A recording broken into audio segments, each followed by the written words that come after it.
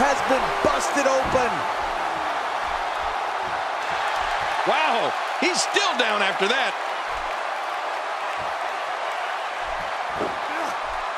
What a move! What a smart move!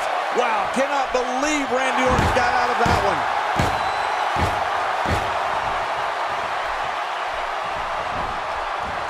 Great counter. Boy, he was able to reverse and get out of that. Nobody controls the pace of a match quite like this guy.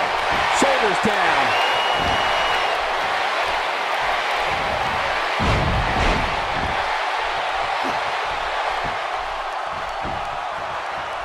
I'm having a hard time figuring out what they're going to do next.